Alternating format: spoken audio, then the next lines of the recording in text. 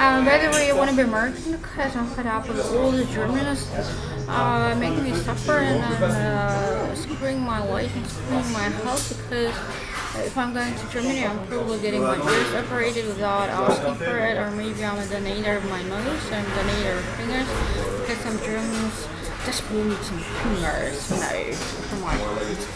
So I'm, I would be happy to become American actress, uh, French actress, Hollywood actress, Chinese actress, Belgian actress, UK actress.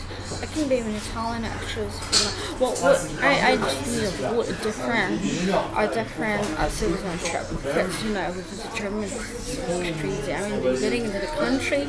Uh, child is all of a sudden kidnapped. Getting to the country, your knees are somehow operated. Your uh, kidneys are in the body of some old asshole uh, which is actually half six feet under Sagittarius. So I'd like to become uh, American and never be German again. This is not a funny thing. I mean, I'm I'm alive only once in my lifetime, and I'd like to become a citizen of a different country like America. It should be like really yeah. And now here you see all the walls behind behind me, all these uh, movies like Fiction over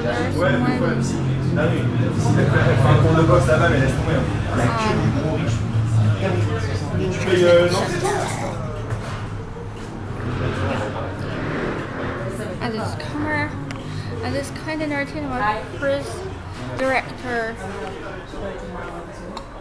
I hope you're gonna be following more often. Every of my life because I'm on the Chaplin side and you're actually from the Chaplin side in Fellini as well.